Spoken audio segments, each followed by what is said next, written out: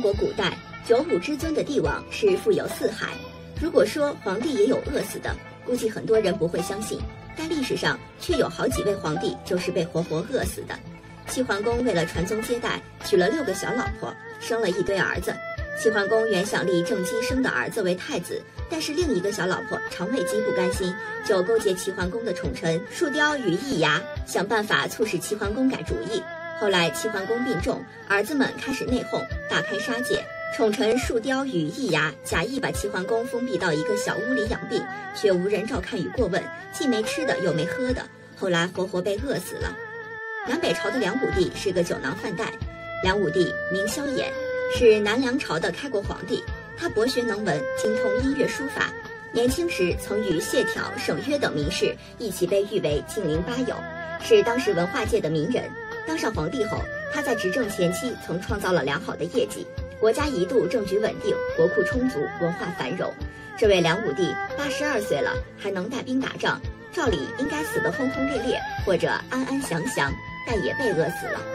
梁武帝一生酷爱佛教，自称菩萨皇帝，终日烧香拜佛。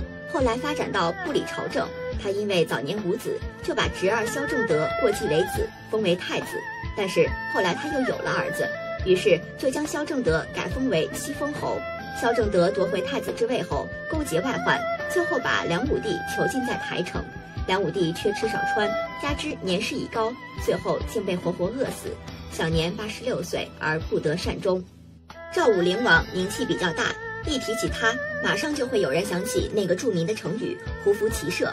赵武灵王在以绝对优势稳定了北方局势后，便不再满足于最初提出的奋斗目标，而是把主攻目标移到中原，力图完成全国统一大业。为了腾出手来开疆拓土，他将王位传给了次子赵和，自称主父，然后统帅他亲手缔造的骑兵，准备从河套一带南下袭秦。正当赵主父雄心勃勃之时，赵国内部发生了政变。由于他在立赵和为王之后，仍在长子赵章与次子赵和谁为继承人的问题上感情用事、优柔寡断。正当他犹豫未决之时，政变发生了。据《史记·赵世家》记载，惠文王四年，公子张作乱，先杀相国肥义，公子李成、李兑起兵靖难，打败了公子张。公子张兵败后投奔主父，主父收容了他。公子李成、李兑围攻主父所居的沙丘宫，杀死公子张。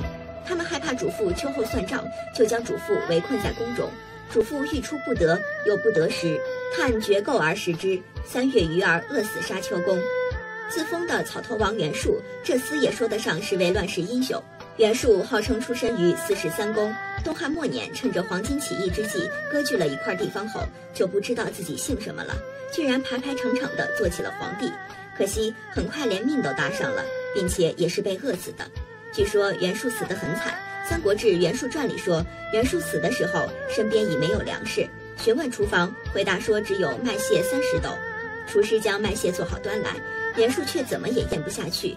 其实正当六月，烈日炎炎，酷暑难当，袁术想喝一口蜂蜜水也不能够。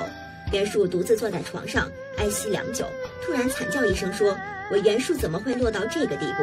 喊完，倒伏床下，吐血一斗多死去。